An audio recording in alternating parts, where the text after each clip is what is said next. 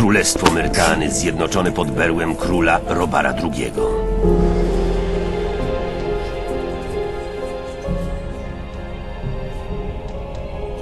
Podczas długich lat swego panowania Robar zdołał pokonać wszystkich wrogów królestwa.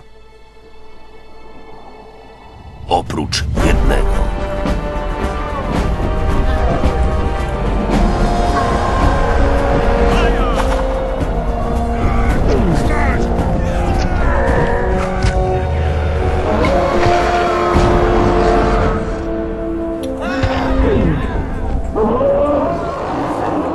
Wojna z orkami była niezwykle kosztowna, a cenę za nią miała ponieść niewielka grupa skazańców. Król potrzebował mieczy i tarcz dla swego wojska. To też wkrótce każdy przestępca, niezależnie od występku, jaki popełnił, zmuszany był do pracy w kopalniach rudy w Korinis. Aby uniemożliwić im ucieczkę, król wysłał swych najpotężniejszych magów, by ci otoczyli całą dolinę czarodziejską barierą. A ja byłem jednym z nich.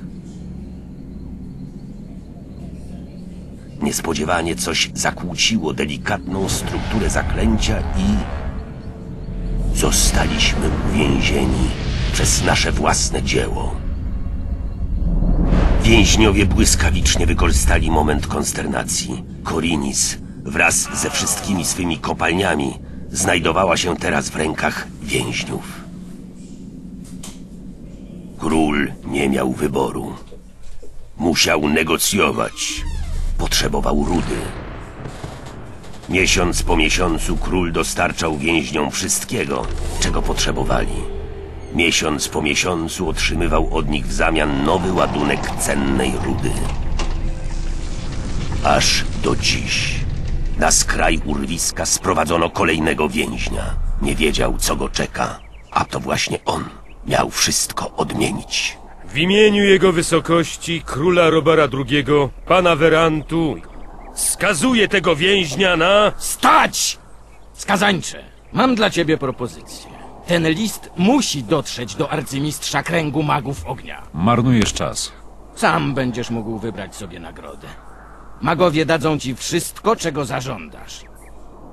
Niech będzie. Zaniosę wasz cenny list. Pod jednym warunkiem. Oszczędźcie mi reszty tej paplaniny. Jak śmiesz... Milcz!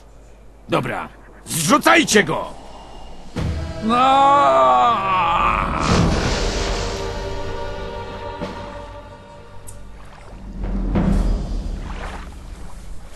Witamy w kolonii. Dość tego! Zostawcie go! A teraz precz! No już, wstał.